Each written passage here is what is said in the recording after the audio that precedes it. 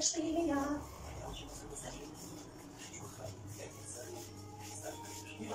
Без слов.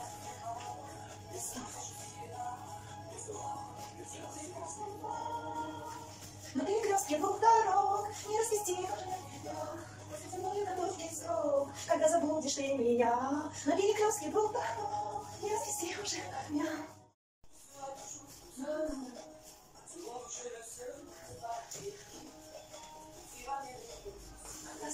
Забудешь ты меня.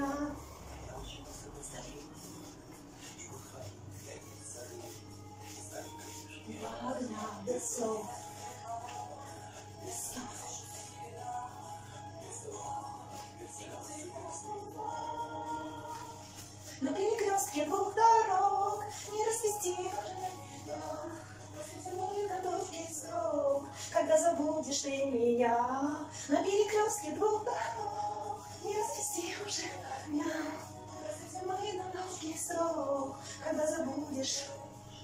ты меня. Когда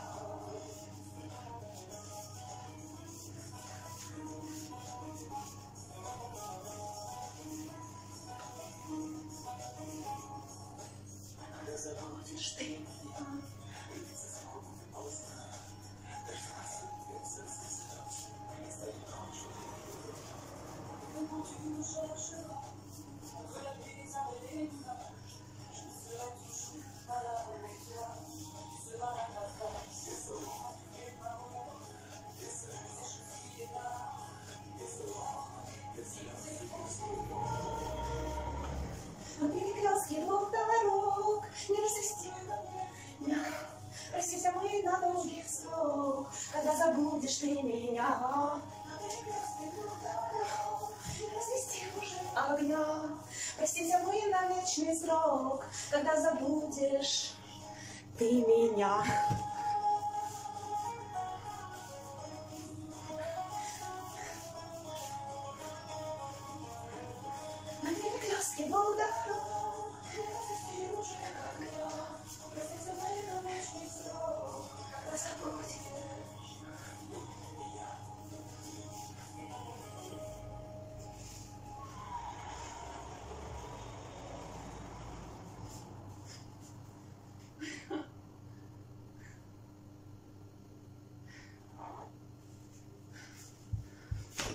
Понятно вам?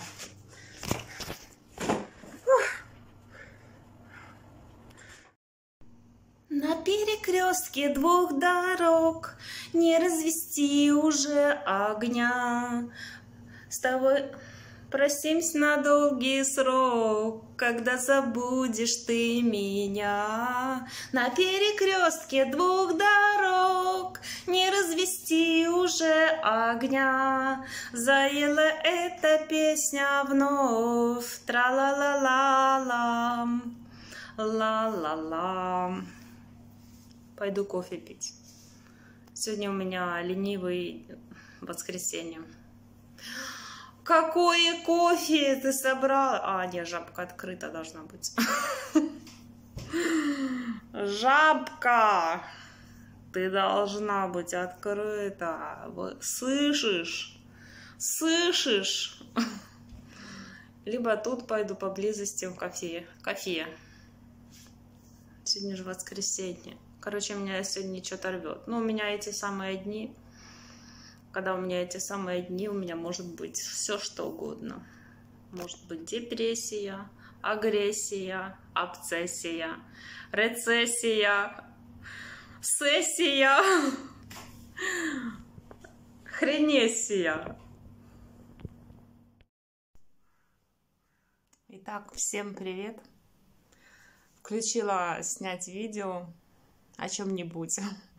Знаете, последнее время в Инстаграме я подписалась на многих э, мам, которые усыновили. Ну, я не знаю почему, но этой темой я уже давно как-то так увлекаюсь, просто смотрю. Э, Конечно, брать ребенка. Когда-то мне было такое желание, несколько, может, год, может, несколько лет назад.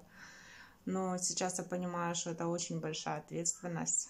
Да и никто бы мне не дал, потому как у меня инвалидность по зрению. И, ну, в общем, одна тем более. Ну, в общем, в моей, моей ситуации проще быть одной, потому что и своих детей тоже родить это очень большая ответственность, очень время затратно, это, короче, всю жизнь. Ну, все, если дети, это ты должен всю жизнь посвятить. Пока ты их вырастешь, потом пока ты их поставишь на ноги. Пока молодой, ты этого не понимаешь абсолютно. И даже, и многие там так и, в принципе, не делают. Ну, то есть дети там беспризорные. Ну, тогда смысл, э, как говорится, выращивать детей, если дети не присмотрены и не доведены до ума, так сказать. Но я люблю смотреть за людьми, которые, особенно, которые усыновляют детей. Особенно мне нравится, ну, мне как-то, ну, я не знаю даже, что я ощущаю. Ну, это как и... Ну, ну, ну, ну, говори! Это уважение. Берут детей с глубокими инвалидностями. Ну, умственно нормальных в основном берут, потому что если умственно ненормальный, то уже что там физическое, это можно еще компенсировать, если человек умственно в этом мире находится. Если он находится в своем мире, то трудно. Не, ты не поконтактируешь, это будет однобокий контакт, и этот ребенок, он почти, он, ну, я, он, по крайней мере, на нашем уровне понимания ничего не понимает. Может, он в своем мире и понимает что-то, что происходит вокруг него. Но с нашей позиции он ничего не понимает. Он на другом измерении находится. Ну, то есть берут таких детей, допустим, там мальчик такой, такой симпатичный, не знаю, вот у него, короче, раздвоение от лица, вот как раз, ну, рождается такой ребенок, которого расщелено. И он там в интернате жил, его, короче, усыновили, сделали ему операции. И в интернате тоже делают операции, но там так просто, чтобы он мог хотя бы есть. Ну, и у него еще и ноги нету. И он такой с протезиком, и, видимо, по национальности, ну, имя Рус, Рустам, и по национальности он, наверное, ну, я не знаю, какой-то то ли казах, то ли еще что-то, ну, я не знаю. Ну, такой хороший мальчик, умный, очень умный. Э, несмотря на то, что ему постоянно этот протезик меняют на ножку. Ну, одна ножка, он там прыгает, бегает, и он плохо разговаривает из-за той расщелины. Да, родился таким просто. И, ну, очень так интересно наблюдать за жизнью. И там куча-куча, вот ты только зашел до одних, подписался, сразу там тебе вторые, третьи, четвертые, таких людей много в России, в основном они все, э, которые кто-то едет усыновлять. Вот э, только что смотрела видео, ну, такие маленькие, в Инстаграме. Они типа едут за... У них девочка своя, они хотят еще усыновить. И это люди не, не для того, что они не могут родить, а просто, просто они чувствуют, что они хотят. Ну, я считаю, что это такие люди, знаете, у них такое вроде призвание мама. Мама такая, глобальная мама. И таких много людей. Ну, у каждого человека вроде своя какая-то, ну, свой сценарий, своя роль какая-то. И каждый хочет же следовать. Ну, или каждый находится в своем сне. И в том сне он такой. В моем сне я, как видите, такая. Куда-то стремлюсь, куда-то иду. И, ну, просто последнее время стало много так что-то думать о том, о сём, о жизни, о пятом, о десятом.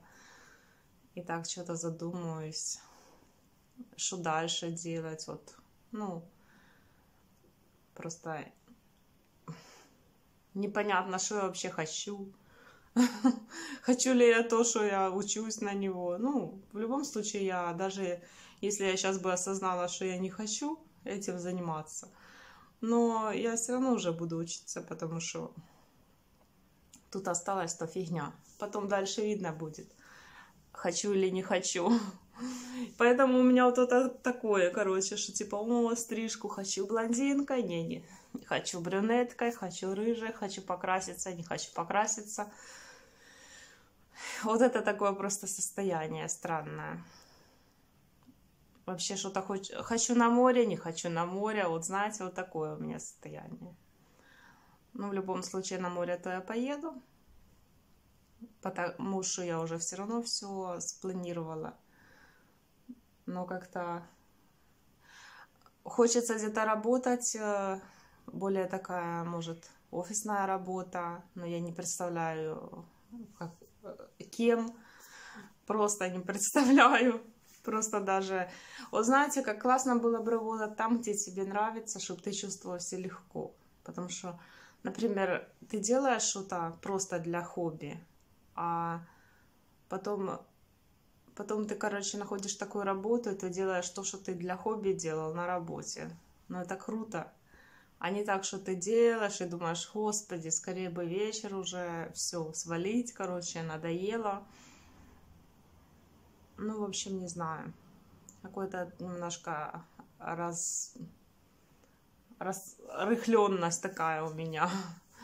И вот это могу часами смотреть этот инстаграм людей разных со всех уголков.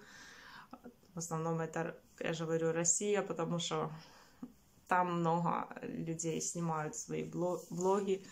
Эти, кто поусыновлял детей, ну, больше меня впечатляет, когда усыновляют э, с физическими отклонениями, потому что э, родные матери даже бросают этих детей, а чужие берут и... И тут даже, может, даже жальче тех детей, которые нормальные, их не усыновляют, потому что вот нет у них, ну вот, много детей в том же э, интернате. И кого-то усыновляют, кто-то всю жизнь сидит, ждет, надеется, его не устанавливают. Ну, и все мы знаем, как там в интернатах тех, ну, живется детям, они просто выходят больными людьми, ранен, с ранеными душами. Ну и, короче, тоже обидно, что таких э, колечек могут забирать, а нормальные дети могут э, и не дождаться никого. Особенно если уже постарше, там уже после 5, 6, 7, 8, 9, уже 10, 11, 12 уже никто не, захо- не хочет, берут, но в редкости, потому что уже личность сформирована и характер может быть какой угодно. Ну, в общем, а так за малышами, конечно, интересно наблюдать, когда их берут еще маленькими. Там одна молодая девочка тоже в Инстаграме, я давно уже за ней наблюдаю, за Инстаграмом, взяла двух пацанов. И при том, что у одного тоже была вот эта расщелина, которую, представляете, вот я родила маманя, расщелина, она его оставила и все. Как? Ну, видимо, что-то это тут осуждать тоже нельзя, потому что, видимо, что-то с психикой, с головой происходит. Видимо, ну, съезжает немного крыша, потому что, ну, какие-то страхи, кто-то еще, а если еще родители что-то говорят, то вообще. Ну, и, короче, она забрала одного и второго, то она с ними, конечно, намучилась, и, ну, я так, я так ощущаю, она ничего не говорит такого. Потому что, во-первых, характера такие, во-вторых, истерики, и это надо все терпеть. И, короче, у них э, безмерный аппетит, типа, ну, я думаю, там аппетит, потому что они, она еще вегетарианка, и дети просто постоянно не, не хватает им, типа, насытиться. Типа, они не чувствуют меры в еде, ну, она говорит. Но я думаю, что из-за вегетарианства они просто не наедаются. Ну, ничего страшного не произойдет. То все равно лучше, чем в интернате. А тот один, что расщелина, ему операцию она же сделала, то он бы вообще был в доме инвалидов до конца жизни. То я думаю, что лучше пускай он будет вегетарианцем. и, и, и вырастет полноценным человеком, женится, детей родит и будет, ну, притом они умные, они не дурачки, что там я же говорю, что таких, что умственно отсталых, их, таких я нигде не видела, чтобы усыновляли или показывали, потому что умственно отсталый, ну, еще чуть-чуть, ладно, а если совсем невменяемый, то, ну, просто ты ничего не сделаешь. Это просто, может, такие американские семьи могут забирать таких детей. Ну, он просто смотрит и и все. И родитель не наслаждается тем, к чему он э, стремился этим же, ну, как, ну, ну вот вырастет ребенок, узнает там такую свою историю, подумает, может когда-то и скажет, зачем вы это сделали, чтобы я там сдох, но может когда-то скажет, что вот все-таки хорошо. И, а если умственно отсталый, ты его сколько не расти, сколько не это, он ничего тебе не скажет потому что он в своем мире, в своем состоянии. Ну, короче, вот это я наблюдаю. Ну, а наблюдаю не для того, чтобы я там что-то это. Мне никто даже... У нас так государство создано в Украине, в России, что ребенка взять это очень сложно. Проще своего, короче, забацать и уже воспитывать, чем взять с интерната. Потому что интернаты это кормушки для других взрослых дядей и тетей, а дети просто как прибор. Потому что если бы это было нормально ну, сделано, то все дети сразу поступали в разные семьи, которые только хотели. Неважно, за границу, не за границу, да неважно куда, куда угодно. Но это лучше, чем вот тот дом, где они сидят, как мешки, короче, и тупеют никакого ни развития, ни ничего. Еще может быть... Не, а, еще там такая фишка есть. Столько страшных историй. Ну, я думаю, вы, если копнете, найдете. Что, например, дети сами не едят, ну что-то не понимают там, нет, а их никто не кормит. И они потом вот то начинают э, истощение, потом их ложат в больницу, в больнице их кормят. И, короче, так и по кругу, постоянное, постоянное истощение. Из-за того, что дети не едят, их никто не кормит, Поставили, не поела, все. Ну, типа так. Даже я слышала, что в садиках есть такое, что воспитатели смешивают все, борщ, компот, и малым детям пихают, типа, чтобы быстрее. Типа, какая разница? Ну, то есть, такие страсти. А что говорить про интернаты? Интернаты, это, я считаю, что это самое... Его надо убирать. Его надо убирать, делать надо какие-то два, отказались, два месяца где-то перекантовал, какой-то перевалочный этот, через два месяца его должны обязательно в семью. И должно быть э, налажено на уровне правительства, а не финансирование. Триллиарды идут через этих детей. И э, эти толстопузы кормятся, пьют эту, как говорится, детскую кровь, так сказать. Ну, так оно и есть. Я не знаю, кто-то считает по-другому, но я думаю, что это так. И чтобы ребенка усыновить, там родителям надо 100 кругов ада пройти этим усыновителем. А я считаю, что всех должны сразу. Сразу. Кто хочет, тому и дали. Все. Приходить там наблюдать, социальная служба. Но не так, чтобы это было... Сделать так, чтобы социальной службе было не, не ну, невыгодно забирать их. Конечно, многие могут сказать, что там кто-то бьет детей, где-то в семье издевается. Но за этим надо следить, отдавать другую семью, с другой, третью. Это все равно лучше, чем в том придурочном доме, где они там сидят, короче. И все делают вид, что о них там заботятся. Даже по, теле... по телеку, по телевизору, когда показывают э, эти дома, так я постоянно вижу, как показывают какую-нибудь воспиталку, ну, типа, выставят уже на камеру более-менее. И она так дергает этого ребенка, ну, такого грудничка за руки, или так как потянет, как шмыкнет, и возьмет на руку, а тот ребенок сидит такой испуганный, глаза вот такие, видно, что он испугался, что ему его, наверное, сейчас будут бить, думает. Но видно по выражению лица этих, этого ребенка, что он в шоке, потому что его никогда не брали на руки. Никогда и вообще никому это не интересно. И она уже взяла, да, да, да, да, да. А видно, что ребенок не то, что до нее не это. Он просто в афиге, что его кто-то что-то взял, поднял выше его кровати. Он, представляете, всю, всю жизнь там пока не начнет ходить, он, ну там, да, сколько, год целый сидит у той колыске, лежит, все. Короче, ну, вот это такие рассуждения. А так за людьми, конечно, интересно наблюдать. Там, как они берут детей. Притом оно там весь процесс, как они вырастают уже такие, уже деловые, эти дети бегают. Там одну девочку наблюдаю постоянно, ее взяли, такая семья, ну, обеспеченная, они там ездят, так смешно уже. Ну, они с малой с этой занимаются полностью, потому что утеряно то, что должно было наверстаться первые месяца до года. Утеряно это не было. Ну, то есть ребенок лежал пластом, тупел. И трудно его наверстать потом. Ну, короче, самое первое время это то, которое...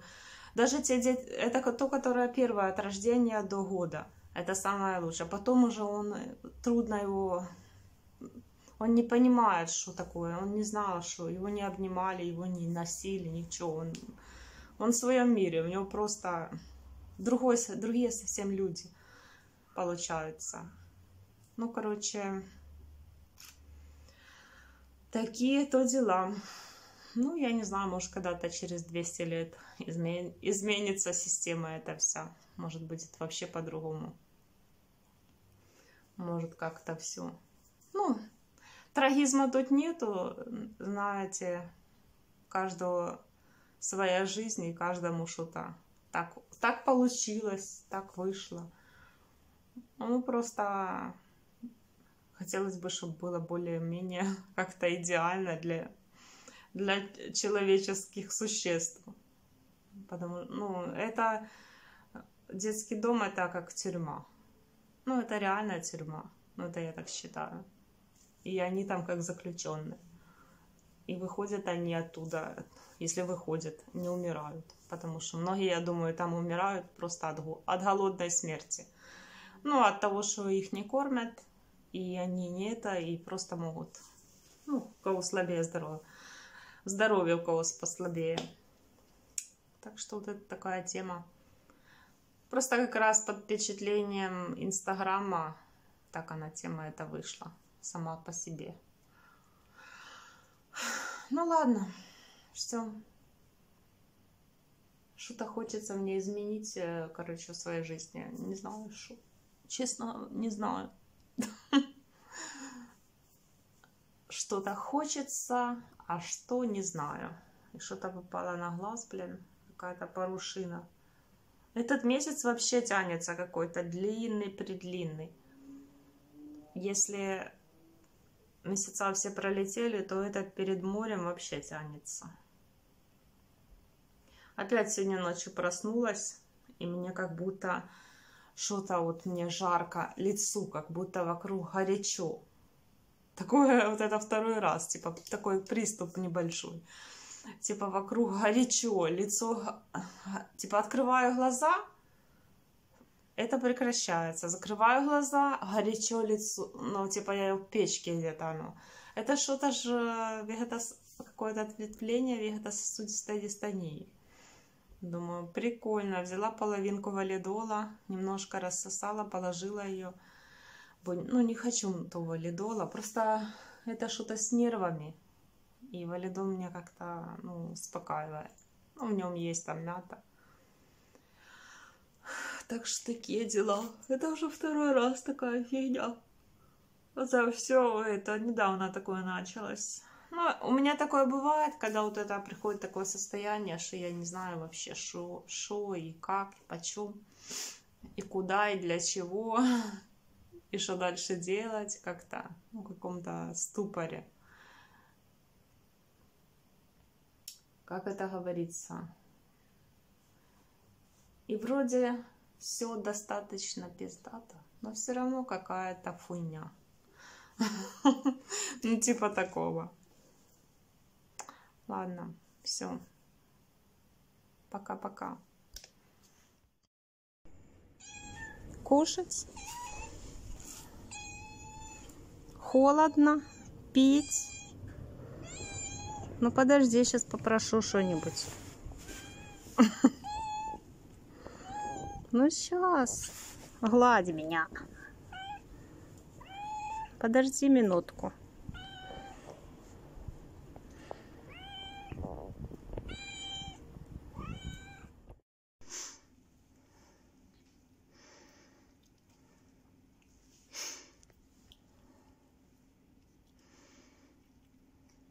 Смачного.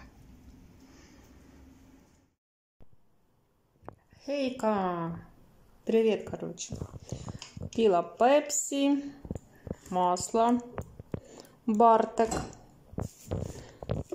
сметана, сметана, сметана, масло екстра, кельбаски, бяла кельбаса. Це у меня, короче, есть вот такая баночка журика. И к нему надо кельбаса и яйко. Две принцессы, яйца большие, такие огромные. Короче, вот такие вот XL. Ну, они реально большие. Ну, не огромные, но больше, чем обычно. Потом купила этот вишневый джем. Хочу сделать пирожки такие классные, картофельные с вишневым джемом. Майонез давно уже не ела. Кефир для этих пирожков. Ну вот и все. Вот это, короче, наши 59 злотых. Этот набор. Все, короче, сейчас отдыхаю. Мне еще кое-чего пошло, так так устала вообще. Сейчас, короче, журик сварю, кельбасу, вернее, туда в журик бухну. Я даже не знаю. Ну да, наверное, сразу в журик. Ну, короче, вот такие пирожки. Будут завтра пирожки. Хочу, у меня есть картошка. И, короче, хочу сделать такое тесто картофельное. Это просто картошку берешь, мнешь туда яйца, три яйца, пару ложек муки, соль и, короче, делаешь такое тесто, типа, туда внутрь вот этот джем. Когда-то бабушка делала эти пирожки. Спасибо тебе, бабушка, что научила таким пирожкам. Они у нее были очень вкусные. Такие вкусные, что мама так готов... не готовила. Не знаю, у бабушки всегда все было вкуснее чего-то. Но вот не знаю почему. Может, потому что она больше была с нами, а мама на работе. Может, поэтому. Скорее всего. Все, отдыхаем. Огурцы у меня тоже, конечно, стоят, но толку с их нема. Я уже не смотрю на них даже. Уже и не жду от них ничего. Если раньше я что-то от них ждала, сейчас уже я потеряла всю надежду. И они такие уже некрасивые, их уже надо посрезать, повыкидать. Больше садить вас не буду. Видите, сколько много там? и толку мало. Если бы на грядке, наверное, было бы, конечно, классно. Видите, сколько много? Короче, так и живем. Тут помидоры колосятся, лежат просто. Стали расти просто огромные. Тут надо подвязывать. Ветки ломаются сразу. Как же пахнет. Дотронешься, они сразу... Ну, короче, помидоры, конечно, хорошо им, только что они здоровые растут. Вон, видите, тут лежат прутья. Ну, не сказала бы я, что их тут много, там помидоров. Ну, в принципе, можно как бы для такого баловства заводить. Какое красивое небо. Не видно. О, видно немножко на камеру. Вот так вот. Все, делаем журик.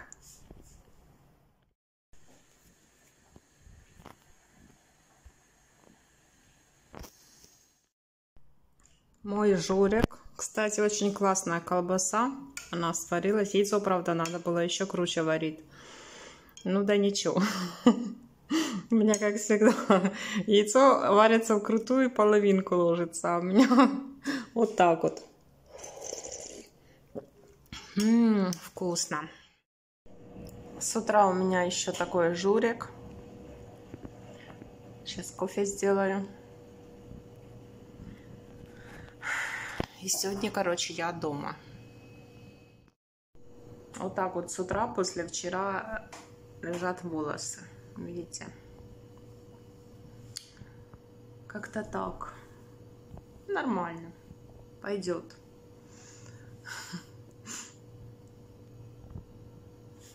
Тут просто можно так заухать.